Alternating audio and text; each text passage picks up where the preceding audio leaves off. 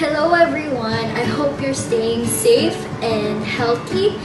Today we're going to be making a quick and easy recipe that you can make for your kids and for yourself. We are going to be making churros with quick and easy ingredients that you can find at home. Let's get started! You're going to need half a cup of water, half a cup of milk, 1 teaspoon of sugar, 1 4th cup of butter, 1 cup all-purpose flour, 2 cold eggs, half a cup of sugar mixed with 1 tablespoon of cinnamon powder. You're also going to need a piping bag and a star tip or any piping tip. And for your dip, you're going to need 2 chocolate bars and 3 tablespoons of milk. For the first step, you're going to add the water, milk, sugar, and butter into the pot. Then we're going to wait for it to simmer to dissolve the sugar granules. Once it simmers, take off the heat, remove the pot from the stove, and add your flour.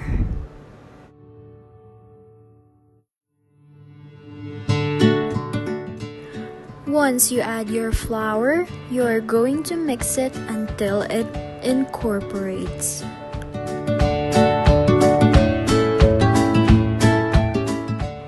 It should form a ball-shaped dough and you'll know it's done when it forms a thin film on the pot. And now we transfer it to a mixing bowl and wait for it to cool down. Once it cools down, you can now add the eggs, one at a time, mixing it until it fully incorporates. Here's a tip. If your dough comes out stiff like mine, you can add one more egg until it is no longer stiff. If you don't have a stand mixer, a handheld mixer is the next option. Or if you don't have a handheld mixer, you can also mix it by hand with a whisk or even a spatula. You just really need really strong arms. Here's the final consistency that we are looking for. The next step is putting the churro dough in a piping bag. Another tip for you to avoid mess, you can also use a tall drinking glass to hold it in place.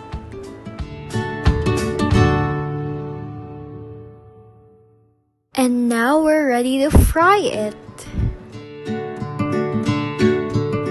Another money saving tip you can also lessen the oil you are going to use in frying it as long as the churro dough does not stick to the bottom of the pan. Also make sure that your oil is hot or else your churros will get soggy.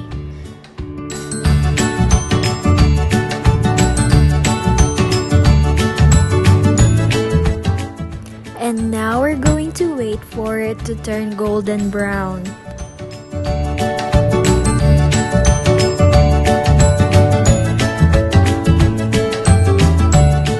Once it turns golden brown, remove it from the heat and repeat the process making sure you do not overcrowd the pot or else your oil will cool down.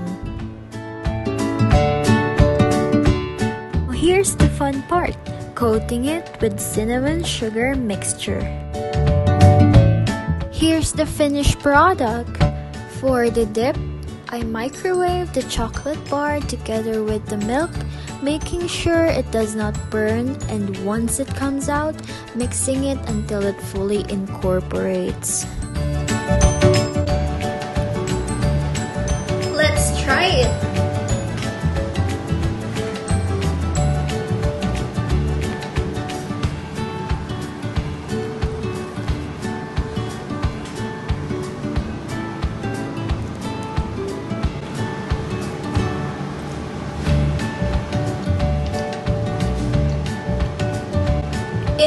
Calgary, Canada, Rachel Lucis We Live in Interesting Times.